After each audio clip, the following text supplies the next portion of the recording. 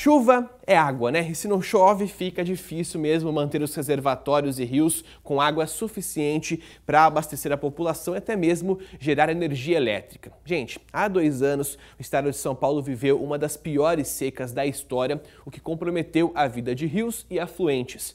E hoje é o Dia Mundial da Água, por isso nós vamos voltar, nós voltamos né, aos pontos mais castigados pela estiagem para saber como estão os mananciais que passam aqui pelo Noroeste Paulista.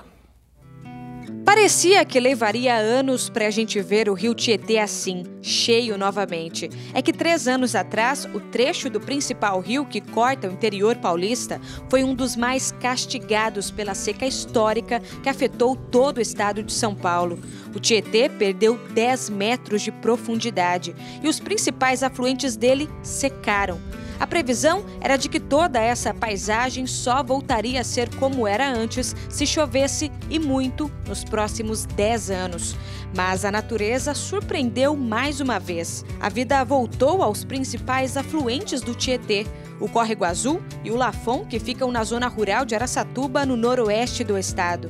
Do alto dá para ver como eles se recuperaram do período de seca. Se nós pegarmos períodos chuvosos, que nós chamamos de períodos hídricos, né, que vai de outubro de um ano até março do outro ano, nós estamos passando, vendo de, de 1.500 milímetros para 780 milímetros 2014 e 15, passando para mil e poucos milímetros em 15 e 16, mas já voltamos a cair para 800 milímetros, 16 e 17. Isso é muito pouco. A seca trouxe para nós uma cicatriz que nós na região não tínhamos. Esse problema de falta de água, realmente, que acabou acontecendo em todas as cidades do, do estado de São Paulo, ela mostrou para gente que a água é um bem finito. E não foi só a paisagem que perdeu com a estiagem, a economia também foi bastante afetada. Foram quase dois anos de paralisação na principal hidrovia brasileira, a Tietê-Paraná.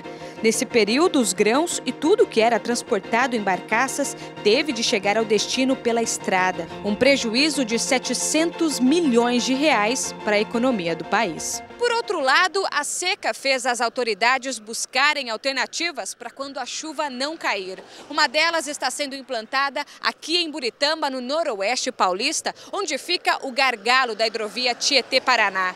Pedras vão ser retiradas do fundo do rio Tietê para aprofundar o canal em mais de 2 metros, num trecho de 10 quilômetros. O objetivo é continuar a navegação para transportar produtos, mesmo em período de estiagem. A previsão é de que a obra, que vai custar mais de 200 milhões de reais para os cofres públicos, fique pronta nos próximos dois anos. A geração de energia também foi comprometida por causa da baixa nos rios Tietê e Paraná.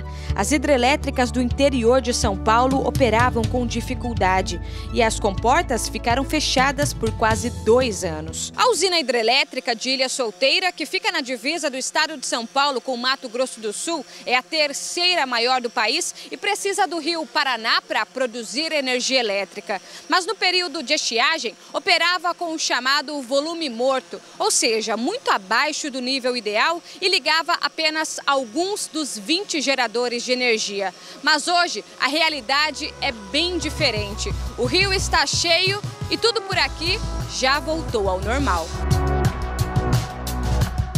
é que o Paraná é um rio dependente. Rios de outros estados, como o Rio Grande, que corta Minas Gerais, desaguam nele.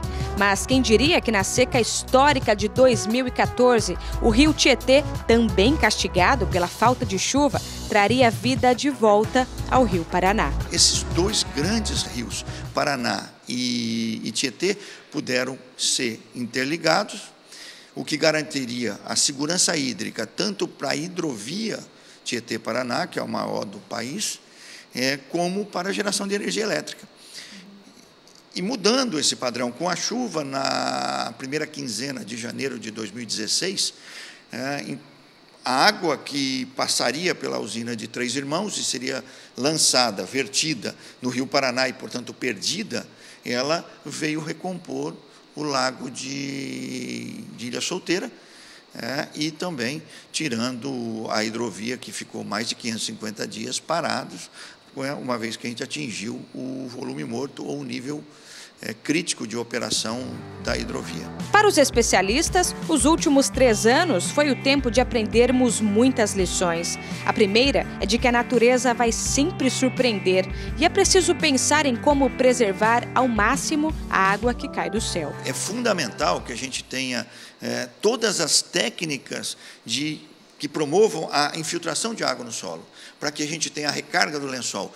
Quais são essas técnicas? Desde curvas de nível, terraço, recomposição de matas ciliares. Nas cidades também. É necessário que a gente não desperdice água, use a água com, com inteligência, com racionalidade.